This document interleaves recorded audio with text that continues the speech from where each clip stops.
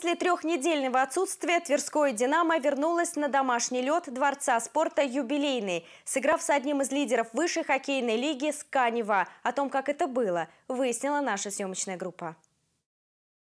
На матче с петербургским Скани Ва на Тверском льду состоялось сразу два динамовских возвращения. Место в воротах занял вернувшийся из главной команды Игорь Тяла, а в первой паре защитников появился восстановившийся от травмы Дмитрий Грищенко. Бело-голубые начали по-хозяйски, несколько раз серьезно обеспокоив голкипера армейцев Никиту Лысенкова. Но, по сути, первый острый эпизод у тверских ворот превратился в гол. Даниил Савунов получил блестящую передачу из-за ворот и без проблем разобрался с Игорем Тяла в ближнем бою. Забитая шайба помогла гостям освоиться на льду юбилейного, и стартовое преимущество динамовцев растаяло. Армейцы контролировали игру, а Тверской команде оставалось только ловить свой шанс в контратаке.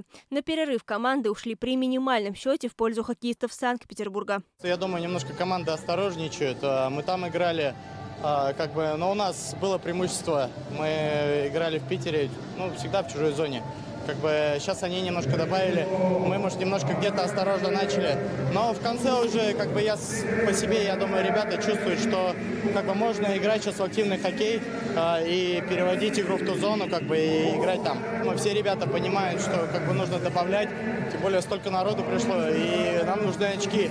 Э, игра дается, игра дается, и мы выиграем. Вторая 20-минутка не принесла изменений в положении дел на ледовой площадке.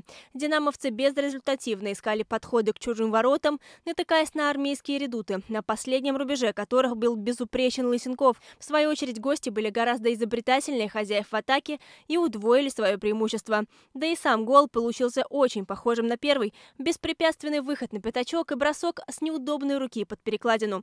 Цифру 2 рядом с надписью «Сканева» на табло зажег Василий Глотов.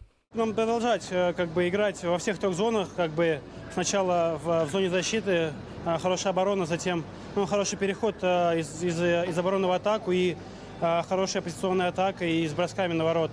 Побольше атаковать, побольше бросать на ворота, создавать помеху вратарю, и также хорошо проводить э, время в своей зоне. Третий период хоккейный клуб «Динамо» начал на максимуме своих атакующих возможностей, на что армейцы Невы ответили образцовой игрой в обороне.